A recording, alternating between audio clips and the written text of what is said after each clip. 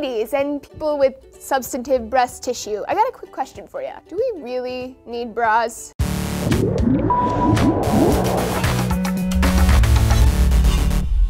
Hey folks, Laci Green here for D News. Some French scientists are causing a storm with a new study they've just published that states that we don't need bras. The bra is a lie. They did a 15-year study on 330 people and found that medically, physiologically, and anatomically, breasts gain no benefit from having their weight supported. Now, this isn't exactly a new idea. Lots of scientists before these guys have said, look, okay, Wear bras if you want, seriously, whatever, but let's not pretend it's got medical benefits. It's just a fashion thing. The French study found that not only do bras not provide any long-term benefits, they may actually contribute to breast sagging. See, the breast has a bunch of connective tissue structures known as Cooper's ligaments, which suspend the breast on the chest wall. Since ligaments can atrophy if we don't use them, the researchers say that constantly wearing bras can speed the breaking down of those ligaments and thus cause sagging. But you know what else breaks down ligaments?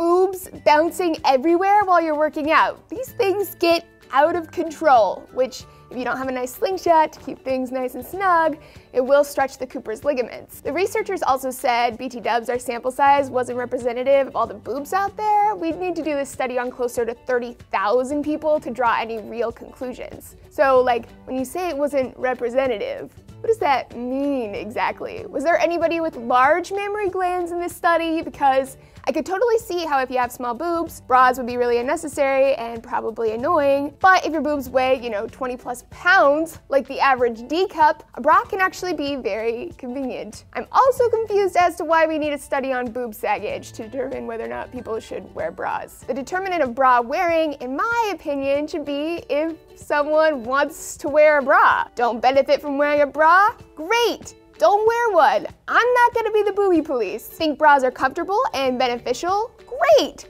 You rock that bra, girl. The sagginess question seems irrelevant because it's gonna happen regardless of your bra wearing habits. It's a natural, inevitable process that is also related to genetics and smoking, aging, pregnancy. Putting all this prevention hype around sagging is just gonna make people feel bad about their bodies. But that's just my two cents. What do you all, particularly those of you who wear one, think about wearing bras? Do you think it's necessary or do you find it kind of bothersome? Let me know down below and at our Facebook for more D-Newsiness. I'll see you next time.